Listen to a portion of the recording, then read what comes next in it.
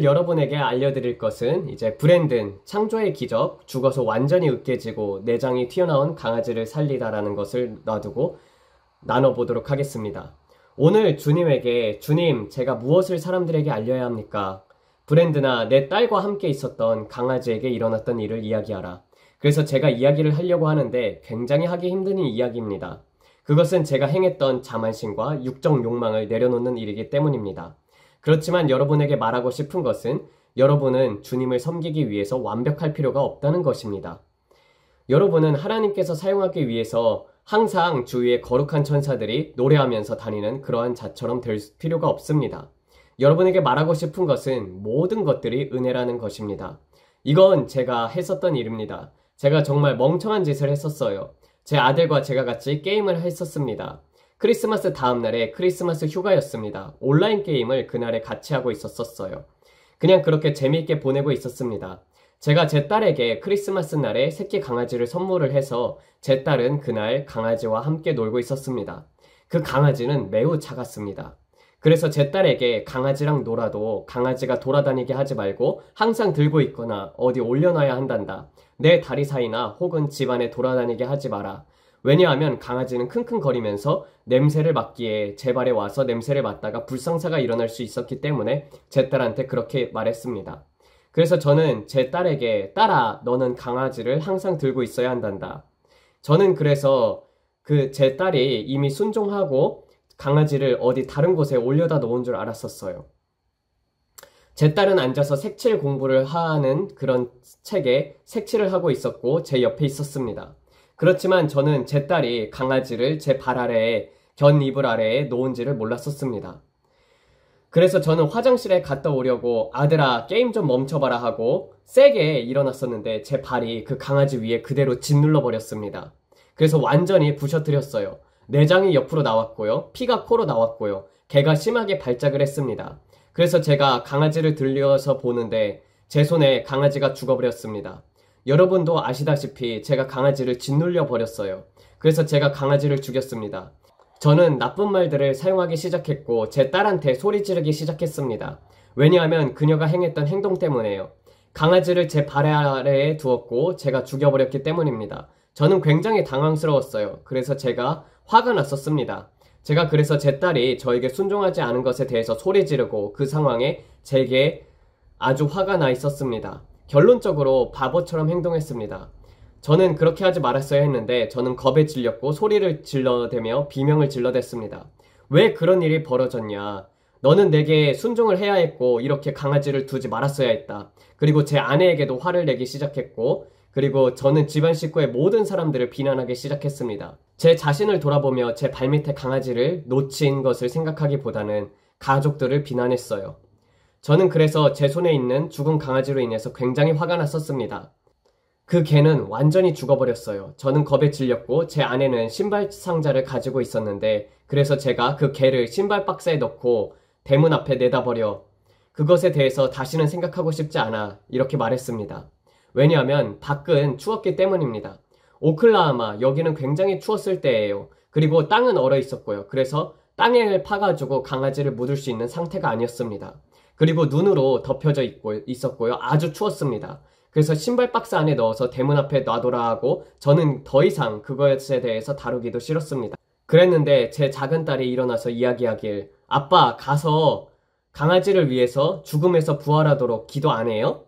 딸아 내가 지금 하나님 앞에 당장 기도한다 할지라도 내 음성을 들으사 죽음에서 돌아오게 하시지 않을 것이란다. 그러니 내가 직접 기도하려구나. 나는 그 개에서 완전히 손을 놨으니 네가 직접 기도하려구나. 그랬더니 딸이 예수께서 이르시되 할 수 있거든이 무슨 말이냐 믿는 자에게는 능치 못할 일이 없느니라 믿는 자에겐 능치 못할 일이 없느니라 라고 말했습니다. 제가 딸에게 말하길 나는 못한다. 지금 잘못된 행동을 행했으며 내가 기도를 해도 주님께서 내 기도를 듣지 않을 거야. 그러니 네가 직접 기도하려구나. 그래서 제 딸은 기도하기 시작했습니다. 믿는 자에게 능치 못함이 없다고 했습니다. 그때 제가 제 자신에게 너무 화가 나서 화를 시킬 겸 제가 방을 나왔는데 그리고 침실로 와서 문을 닫고 주님 앞에 기도를 올려드렸습니다. 제가 제 딸의 기도를 들을 수 있었어요. 예수의 이름으로 명하노니 죽음으로부터 부활할지어다. 그럴 필요가 없었던 게 걔는 이미 죽었습니다. 상자 안에서요. 아주 추운 날 겨울에 죽어서 박스 안에 넣고 대문 앞에 두었습니다. 그리고 모든 것들이 밖에선 얼어 있었었고요. 그래서 제 딸에게 다음날 아침에 쓰레기통에 넣거나 어떻게 해보자라고 말했습니다. 그리고 나서 저는 1시간, 2시간 정도 기도를 했는데 저는 가족과 화해를 했습니다. 주님 앞에서 주님 죄송합니다. 제가 바보스럽게 행동했습니다. 저는 잃, 잃는 것에 대해서 두려웠고 화가 났어요. 그래서 가족들에게 내가 미안하다. 잃는 것에 대한 두려움 때문에 내가 멍청하게 행동했고 내 자신을 탓했어야 했는데 너희들을 탓했구나. 미안하단다. 그리고 나서 성찬식을 가졌습니다. 그리고 예수님의 발 앞에 그것을 내려놨어요. 제 딸은 여전히 울고 있었고 화가 난 상태였습니다. 저는 제 딸을 붙들고 딸아 내가 소리쳐서 미안하단다. 내가 그 상황에서 이성을 잃었구나. 내 강아지를 잃게 해서 미안하구나. 새로운 강아지를 내가 사줄게. 저는 딸을 위로하고 제 가족들을 위로했습니다. 그렇게 두 시간 정도 흘렀다고 했었죠. 그랬더니 제 아내가 쓰레기를 버리려고 밖에 나갔는데 개가 상자 안에 없다는 것입니다. 제가 그래서 제 생각에는 너구리, 라쿤이 강아지를 들고 나갔나 보다 생각했습니다. 제가 거기 앉아 있었는데 갑자기 아내가 말하길 끼끼 낑낑 하는 소리가 난다고 했습니다. 낑낑 하는 소리가 난다는 것이에요. 그래서 제 아내가 쓰레기통 밑을 보기 시작을 하는데 쓰레기통 밑에서 강아지가 살아 있었습니다. 완전히 살아서 꼬리를 흔들면서 그 쓰레기통에서 나가길 강구하는 거예요. 그래서 제 아내는 위에 있는 쓰레기를 끄집어내고 그 강아지를 들어 올렸습니다. 하나님께서 완전하게 강아지의 내장을 안에다 집어넣으시고 또 강아지의 모든 구멍에서 나왔던 피들을 완전히 없애시고 모든 것들을 회복시켰습니다. 그리고 또 이 강아지에게 어떤 종류의 트라우마의 징조 또한 없었습니다. 하나님의 완전히 창조적인 기적을 강아지에게 행하셨어요. 제 아내가 그 새끼 강아지를 데리고 왔습니다. 밖에서 추워서 떨고 있었었어요. 그래서 우리는 드라이어로 개를 말려주고 그 다음에 따뜻하게 해주었습니다. 그랬더니 제 작은 딸이 소리 지르면서 하는 말이 내가 말했잖아요. 믿는 자에겐 능치 못함이 없다고요. 내가 말했잖아요. 아빠 믿는 자에겐 능치 못함이 없다고요. 주님께서 개를 데리고 올 것이라고 제가 말했잖아요. 왜냐하면 제가 제 아이들에게 늘 믿는 자에겐 민, 능치 못함이 없다고 가르치고 훈련시켰기 때문입니다. 제가 항상 아이들에게 예수님은 어제나 오늘이나 영원토록 동일하다고 가르쳤기 때문입니다. 그리고 2000년 전에 병자를 치료하신 예수님이 심지어 쓰레기통 밑바닥에 처박힌 강아지까지 돌보신다는 사실을요.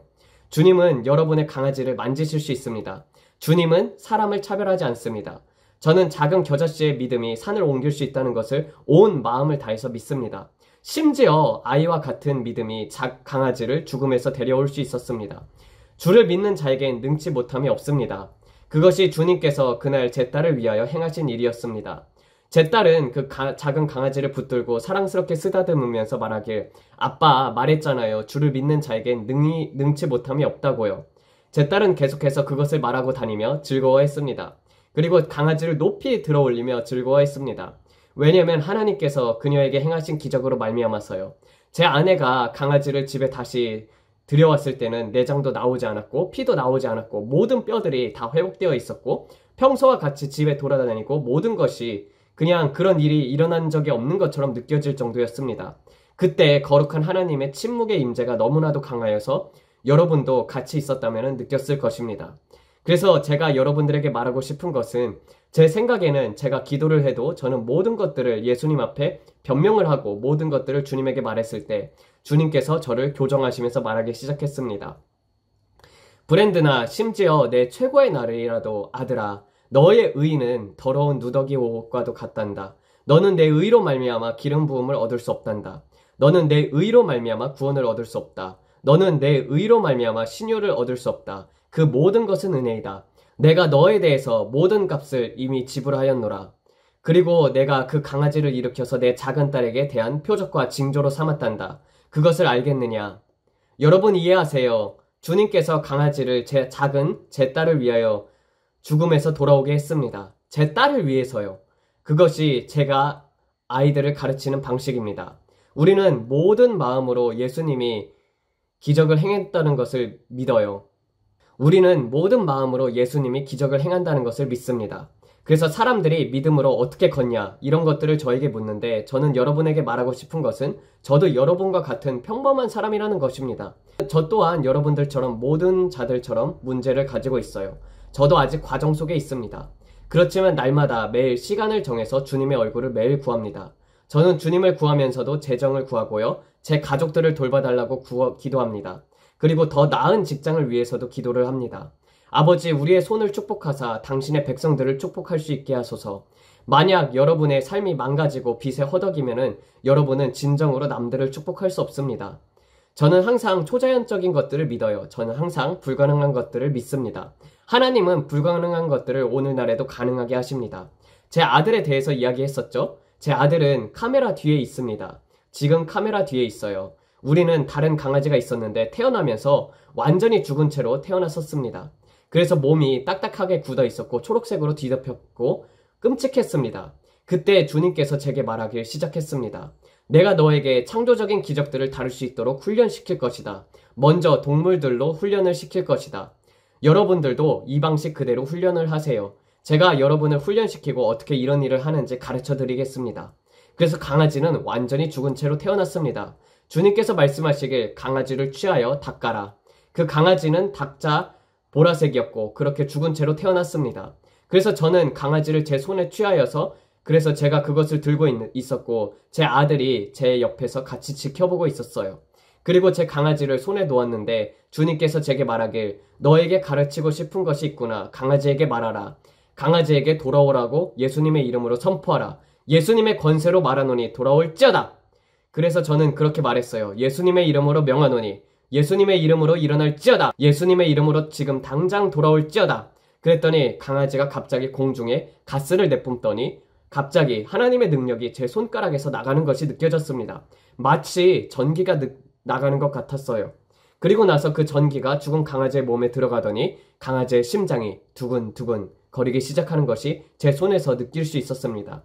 제가 그 강아지의 폐 또한 공기로 채워지는 것을 느낄 수 있었어요. 갑자기 완전히 보라색이었던 생명이 없었던 강아지가 갑자기 혈색이 돌기 시작하더니 돌아오기 시작했습니다. 그리고 모든 것들, 피가 돌기 시작하고 심장이 뛰고 다시 살아났습니다. 제 아들이 옆에서 지켜봤어요.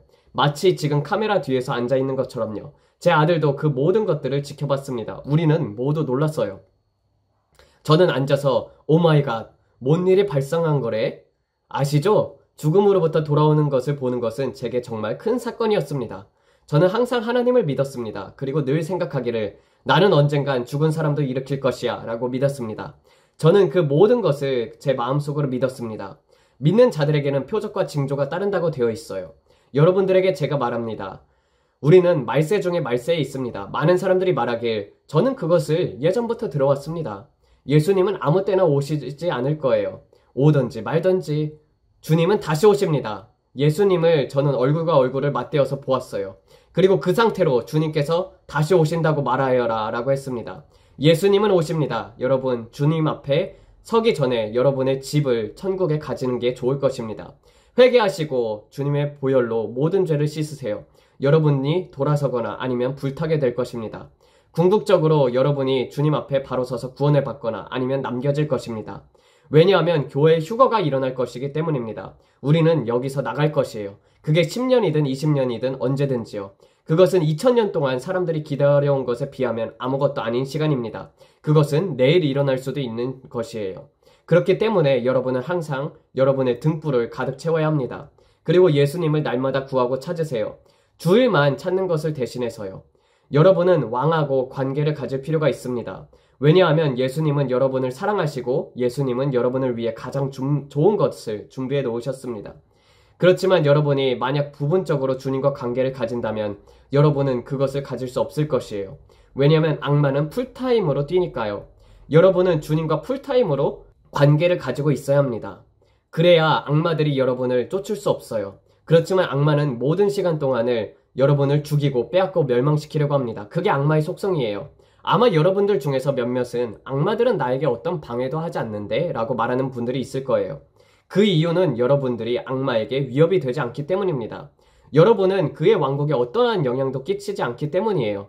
악한 영들은 그들에게 위협이 되지 않는 사람들을 망치려 하지 않습니다. 그렇게 여러분은 여러분의 갑옷을 오늘 입어야 합니다. 그리고 하나님의 지상 명령을 행하세요. 아픈 자를 위해서 기도하시고 죽은 자를 살리시고 악한 영들을 내쫓고 거저받았으니 거저주세요. 그런 주님을 우리가 섬기는 것입니다. 주님은 잃어버린 자를 위해서 오셨어요. 그리고 여러분에게 말합니다. 이 땅에 가장 큰 추수가 일어날 것이며 요엘서 2장에 명시된 가장 큰 기름 부음이 이른 비와 늦은 비가 같이 올 것입니다. 우리는 전 세계적으로 가장 큰 기적과 표적이 나타날 것입니다. 팔과 다리가 눈과 귀가 갑자기 생겨나고 자라나고 죽은 자가 일어나고 악한 영을 내쫓고 우리는 세상에 본 적도 없고 들은 적 없는 그런 가장 큰 기적들을 볼 것입니다. 제가 여러분들에게 말합니다. 이제 불가능한 것을 믿을 때입니다. 불가능한 것들을 성취할 때입니다. 여러분들은 큰 것들을 믿으셔야 할 시기입니다. 하나님께서 크신 일을 행하시는 것을 믿어야 할 때예요. 작게 생각하지 마세요. 하나님은 크신 하나님이 되고 싶어 합니다. 그리고 오늘 여러분의 삶을 운행하시길 원하셔요.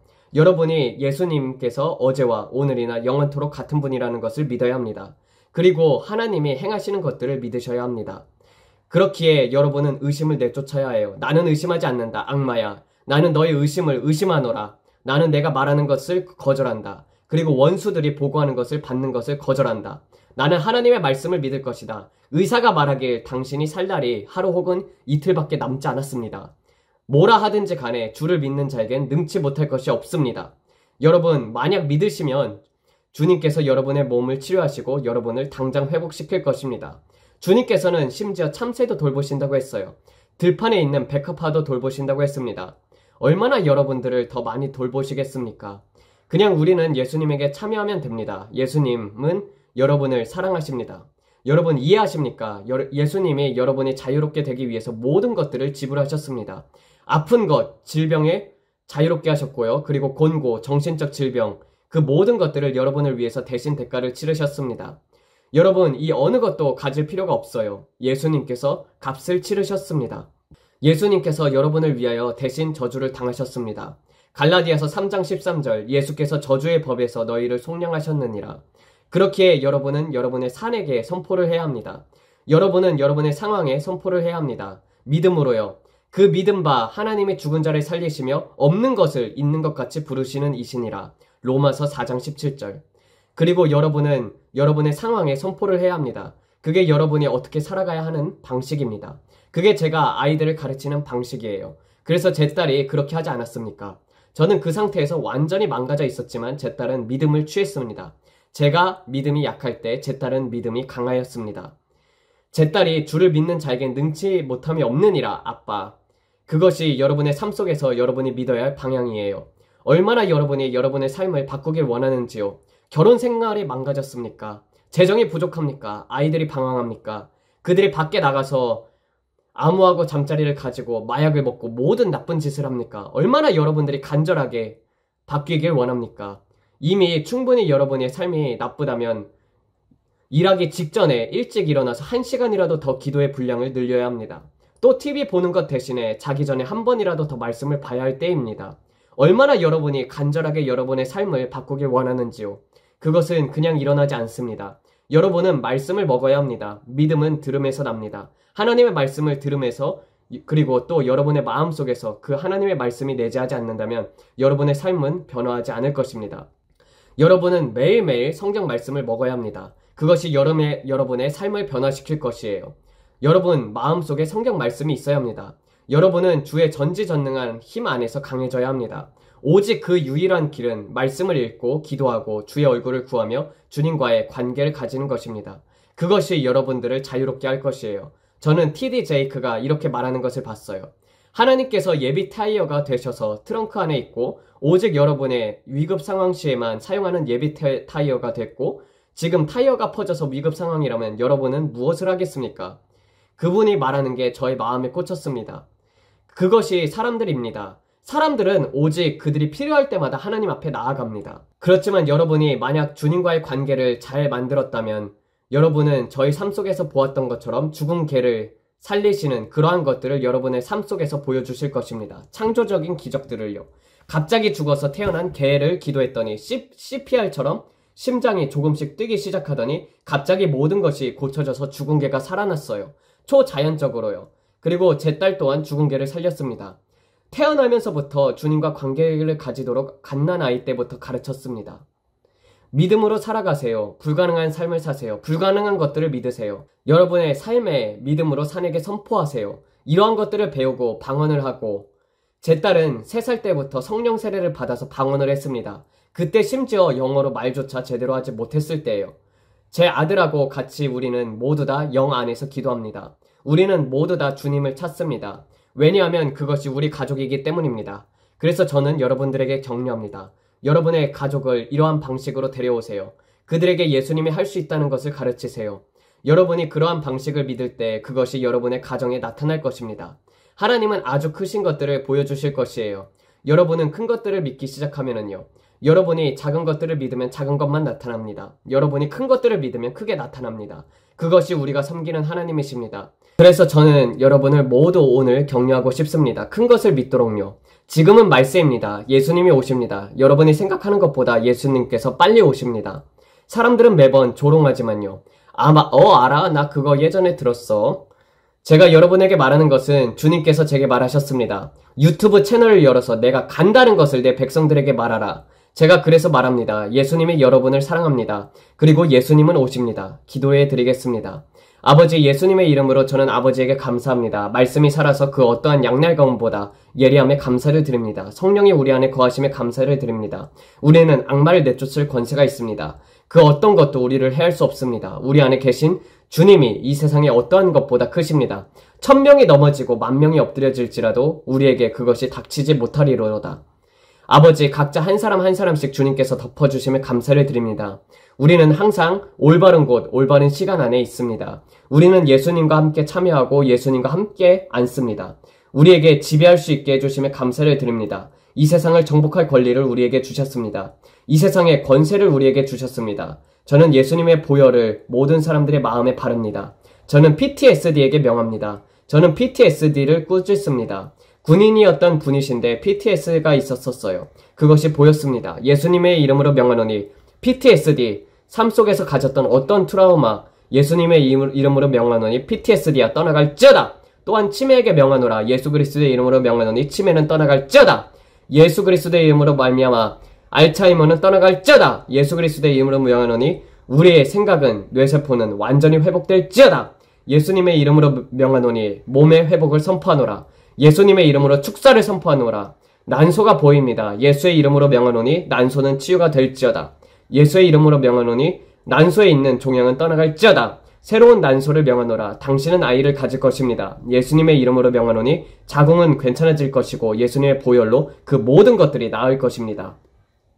종양이나 암을 취소하노라. 예수님의 이름으로 명하노니 지금 떠나갈 것을 선포하노라. 여러분은 의사로부터 좋은 소식을 가지게 될 것이고 임신 기간이 완전할 것이며 아무것도 부족하거나 망가지지 않을 것입니다. 예수님의 이름으로 나음을 선포합니다.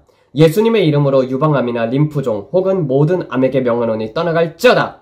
모든 혈액 종류 병들 그리고 또 에이즈에게 명하노니 내가 저주하노라. 예수의 이름으로 그것들은 치료가 되었다.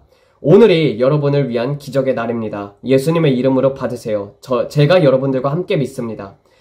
여러분을 위한 기적의 날입니다. 제가 또 이가 감염된 사람을 봅니다. 예수님의 이름으로 명하노니 그 치아는 완전히 회복될지어다. 충치는 사라질지어다. 감염도 사라질지어다. 열도 떠나갈지어다. 턱뼈는 회복될지어다. 감염으로 인해서 턱이 아픈 거예요. 예수의 이름으로 치유가 되었음을 선포하노라. 사탄의 유대를 끊어놓노라. 술 중독은 떠나갈 것을 선포하노라. 세대의 저주, 굉장히 오래된 사탄의 묶임, 예수님의 이름으로 명하노니 이것은 이제 자유롭습니다. 예수님의 이름으로 술 중독의 영화 떠나갈지어다. 내가 또 불안과 걱정, 우울증에게 명하노니 떠나갈지어다. 회전 근개가 아픈 분이 있습니다. 새로운 어깨를 선포하노라. 회전 근개는 완전히 나음을 입을 것을 명하노라. 예수님의 이름으로 명하노라. 갑상선에는 나음을 입을지어다. 예수님의 이름을 명하노니 귀가 열릴 것을 선포하노라. 감사합니다. 주님, 귀는 치유가 될지어다. 오늘 이 여러분을 위한 기적의 날입니다. 우리는 주님을 찬양하고 존귀와 찬양을 올려드립니다. 영광에서 영광으로 옮기게 하시니 감사를 드립니다. 오늘 아버지에게 경배합니다. 감사합니다. 주님의 신실하심에 감사합니다. 그러니까 그리고 나서는 이제 브랜드 의그 유튜브의 댓글들을 제가 살펴봤었거든요. 어떤 분도 새끼 강아지가 핏볼에게 물려서 죽었대요. 그런데 아내가 그 강아지를 놓고 기도를 했더니 나와서 12년 동안 같이 살았다는 간증도 있고 또 다른 분들도 개를 위해서 기도를 했을 때 하나님께서 살려낸 간증을 했더라고요.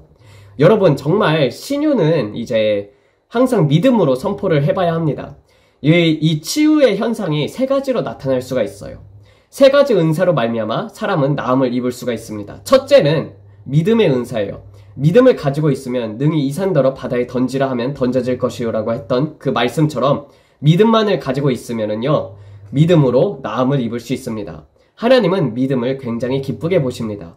두 번째 같은 경우는 이제 신유의 은사입니다. 신유 은사 같은 경우는요, 먼저 하루에 날마다 방언을 내리 5시간에서 7시간씩 계속 매일매일 하다 보면은 신유가 몸에 나타나기 시작을 합니다. 근데 이제 쉬엄쉬엄 하는 게 아니라 시간을 나눠서 하는 게 아니라 내리 그렇게 방언으로 기도를 해야 돌파가 일어납니다. 그러면은요, 여러분 손에서 막 전기 같은 것이 찌릿찌릿하게 느껴져요. 그래서 능력이 있는 것이 느껴집니다. 저도 이렇게 예배를 하거나 그리고 또 하나님 앞에서 기도를 할 때 손에 전기가 오는 게 느껴지거든요. 찌릿찌릿하게요. 그래서 브랜든도 말했다시피 전기 같은 능력이 손에서 나가더니 이제 완전히 죽어서 태어났을 때 죽었던 강아지를 치료했다고 하잖아요. 신유가 있는 사람들은 몸에 전기 같은 게 돌아다니는 것이 느껴지고 그리고 신유가 나가게 되면은 그 전기 또한 나가지는 것이 느껴지므로 손끝에서 느껴집니다. 그래서 치료된 사람을 알 수가 있는 거예요.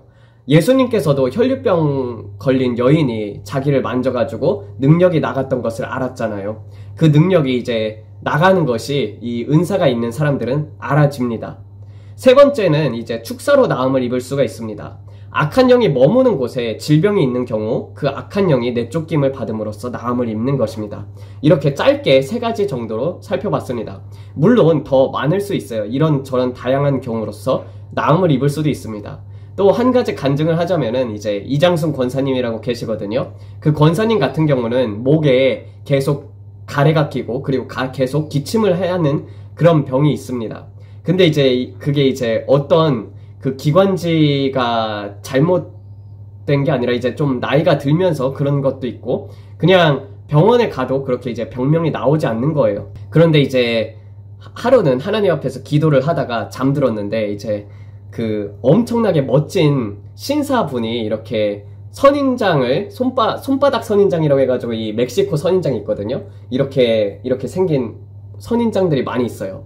그것을 이렇게 막 가져 오더라는 거예요. 자기에게. 그래서 자기가 그것을 사람들한테 막 나눠주는 꿈을 꿨다고 합니다.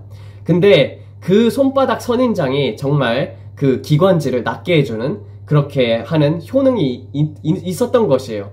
그래가지고 권사님이 그 손바닥 선인장을 왕창 사가지고 맨날 아침마다 우유와 함께 넣어가지고 그 손바닥 선인장에 그 선 가시들 있잖아요. 가시들을 후라이팬에 후라이팬이 아니라 그 가스레인지에다가 달궈가지고 가시는 제거한 다음에 그것을 또 갈아가지고 먹고 그리고 저한테도 주시고 사람들한테 나눠주시고 그랬었단 말이에요. 그래서 그 기침을 계속했던 것이 많이 좋아지고 그게 이제 사라졌었어요. 그런 것처럼 하나님께서는 여러 방법을 써서 어, 낫게 하실 수 있습니다. 이 세상에 있는 약초들 같은 경우도 그리고 또 의사분들을 통해서도 낫게 하시는 것도 다 하나님께서 하시는 것입니다. 그래서 의사분들도 놀래잖아요. 왜냐면은 자기가 수술을 하는데 이건 죽을 수술이 아닌데도 죽고 이거는 살 사람이 아닌데도 산다는 거예요.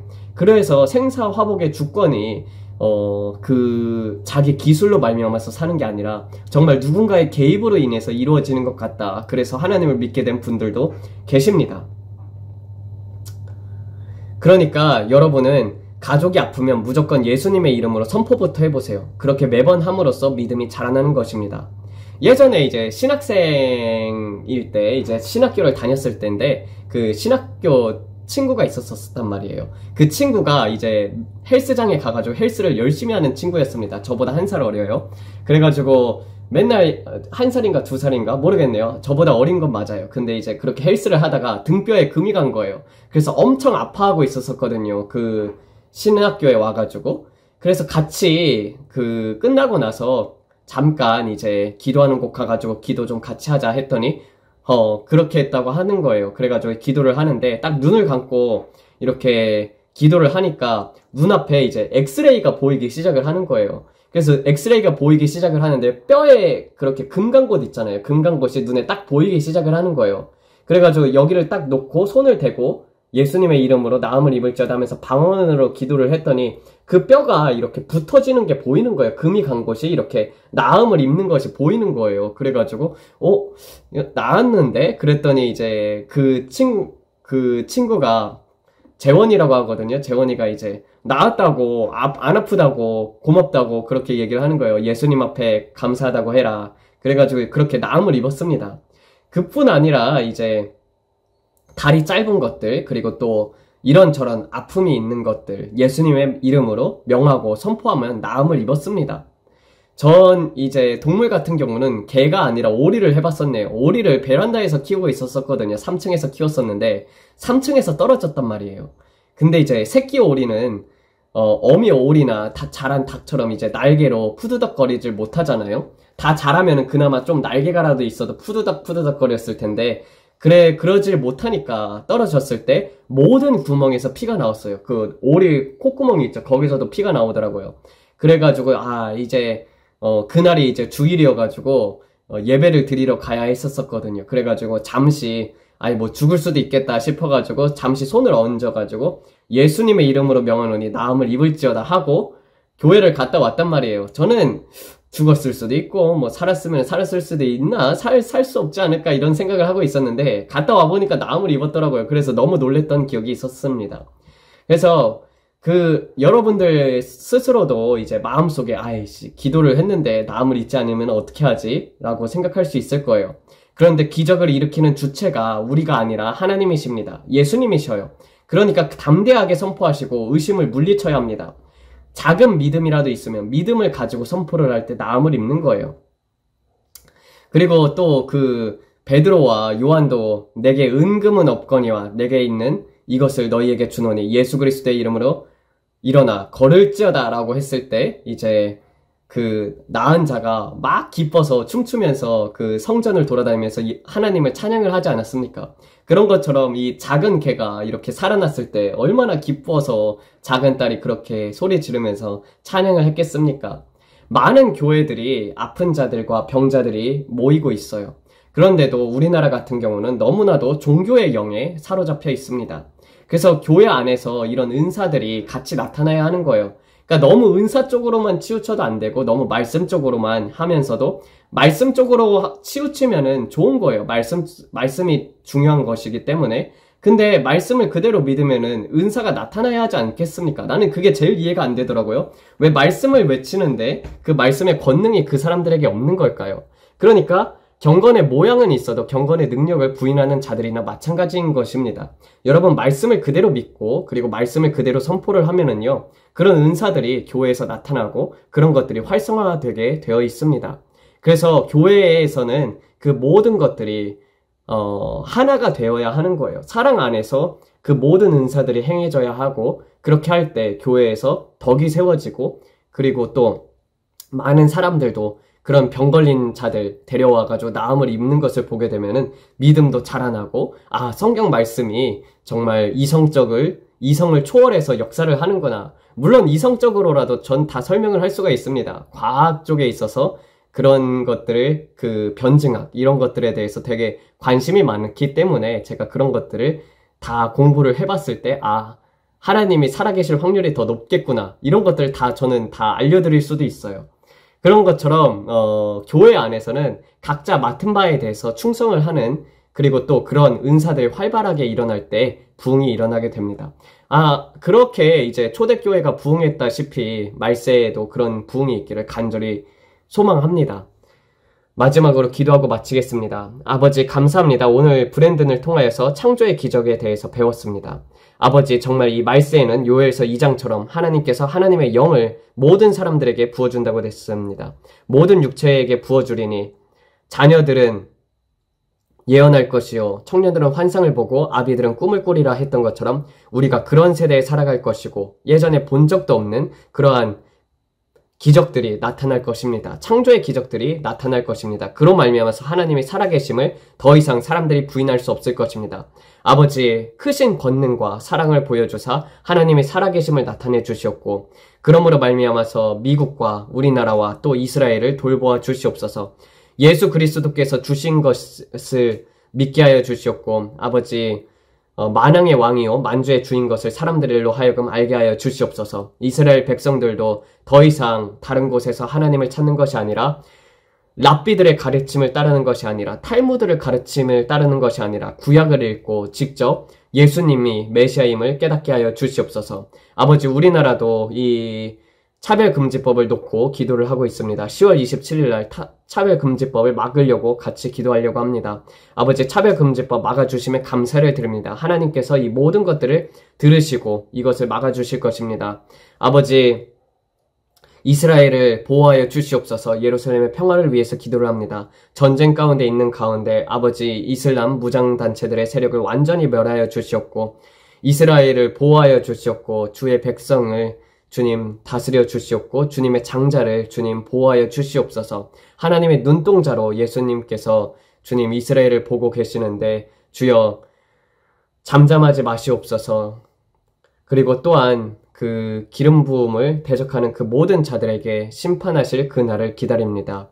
아버지 오직 홀로 영광을 받아 주시옵고 또 미국에서도 세계 곳곳에서도 주님의 놀라운 기적들을 통하여 마지막 부흥에 주님 많은 사람들이 추수되는 역사가 일어나게 하여 주시옵소서. 그리하여서 혼인 잔치 때 그 모든 사람들과 함께 즐거움을 누릴 수 있는 자들로서 세워 주시옵소서. 이 모든 말씀 우리 주 예수의 쓰름 받들어 기도드렸습니다. 아멘. 감사합니다.